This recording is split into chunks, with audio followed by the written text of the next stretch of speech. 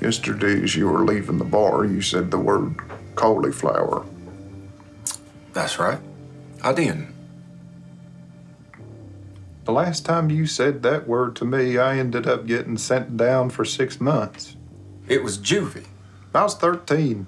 And you were supposed to be the lookout, now weren't you? Being that I was your kid brother, I let you lead me into trouble with all your crazy cauliflower plans. My life of crime is over. But you did make breakfast this morning. Even burned the bacon like I like and you ate. I also saw you have some sort of robbery to do list. I know this attempt to be organized is a big step for you, so go.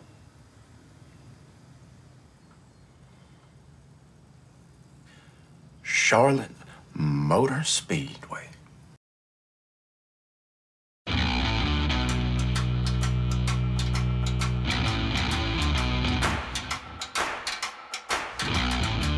Jimmy, I'm just gonna say it. I gotta let you go. You were just fired. I was let go for liability reasons involving insurance. The one-armed bartender. You need to show a little respect. Charlotte Motor Speedway. I know how they move the money. The only guy who knows anything about blowing up real bank vaults is Joe Bang. I am incarcerated. Yeah, we got a plan to get you out. The Coca-Cola 600 is the biggest race of the year. We need a computer whiz. I know everything there is to know about computers, okay? All the Twitters, I know them. Welcome to the Coca-Cola 600. How many yards away is the vault? 20 yards. I don't know, maybe 30. Is it 20 or is it 30? We are dealing with science here.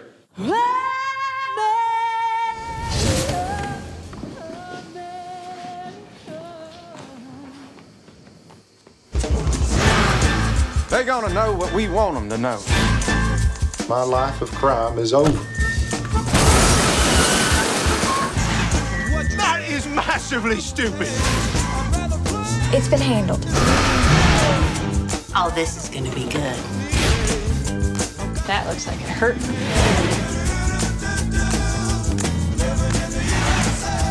I want everything on Jimmy Logan.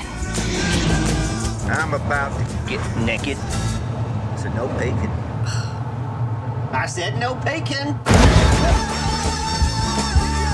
You Logans mustn't be as simple-minded as people say. People say that. Would you give me my arm, please? Is it this one?